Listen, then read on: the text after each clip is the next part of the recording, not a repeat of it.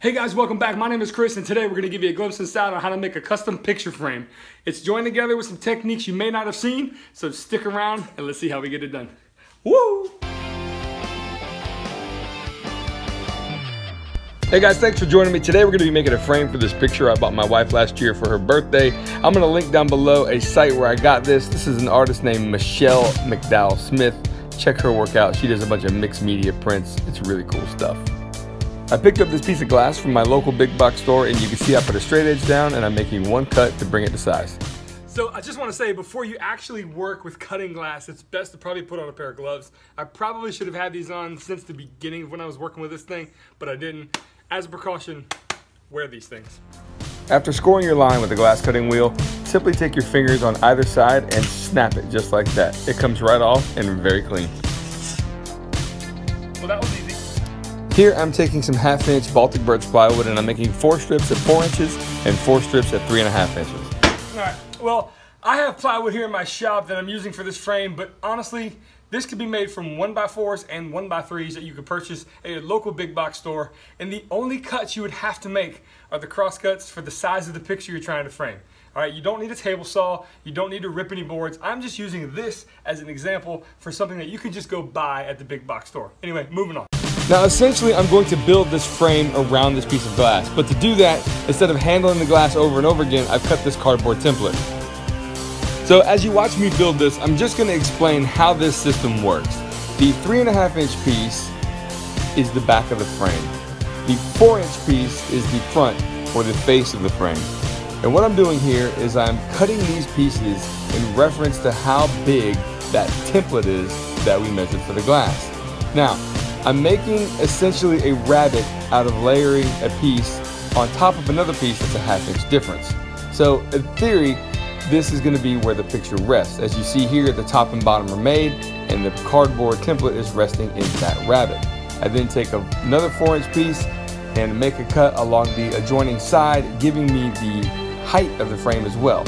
Again, each piece is layered and they're layered in such to where at each of the corners, it forms a half lap joint.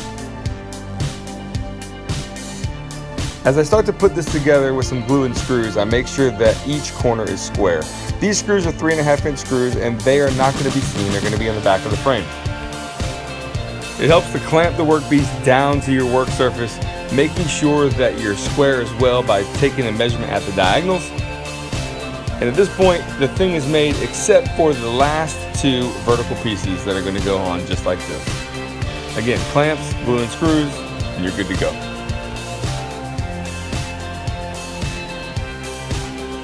And it looks like we have a tight fit. Check that out. So here's a quick overview. You can see the three and a half inch pieces are layered and such to give you a rabbet where the picture then rests. As you can see also the half lap joints at each 90 degree angle gives you a super strong and a super unique frame that's constructed with very minimal tools and no miters. That's the key. Miters can be an absolute pain, right? Right. But when I put the glass back on, check that out. I guess I didn't cut the glass exactly 100% square, so I'm taking an angle grinder and a couple of different sanding blocks and a couple of little chisels here and I'm just kind of whittling away some wood, getting this glass to fit just right.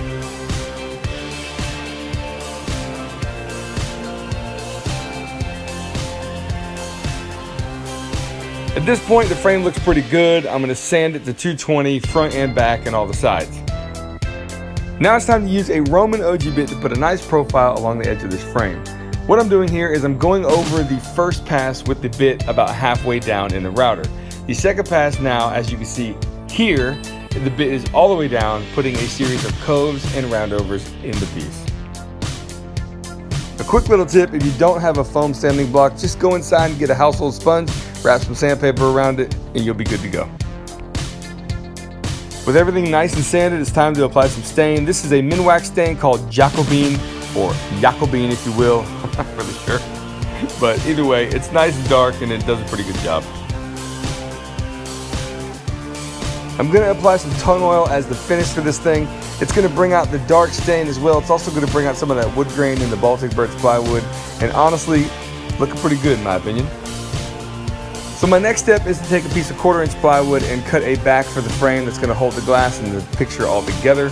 I go ahead and get this glass cleaned up with some acetone, getting some of the handprints and stickiness off of it, lay the picture in there, put the backer on, and I'm gonna attach this with just some simple panhead nails. As I install the last nail in the back, I flip it over and I realize we have a little happy accident here. The birch trees in the picture, they match the Baltic birch plywood that the frame was made from. As I attach the picture framing wire on the back of the picture with some panhead screws, I realized that for a little added security, I'm going to install one more screw right through the wire as well. The picture is to be displayed right outside our master bedroom in a hallway. Hard to get some angles and some good shots, so I took it outside in the sunlight to give you a better look at what it looks like.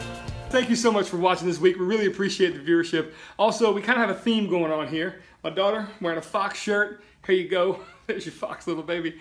Also, I want to thank the artist who made that mixed media painting or picture, if you will. I'm going to link her website down below. Also, we need to thank our Patreon supporters.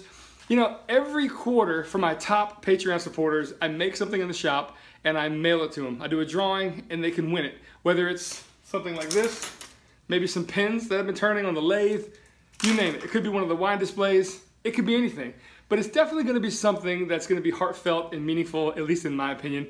And I want to thank Quinn. Quinn is my first top level Patreon supporter. I really appreciate the viewership and the support, buddy.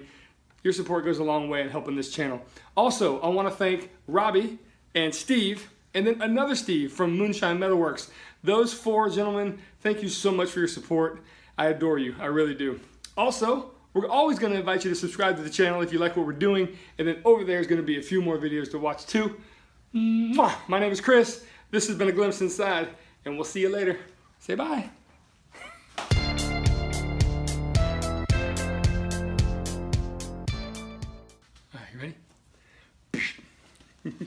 You ready? You ready? You ready?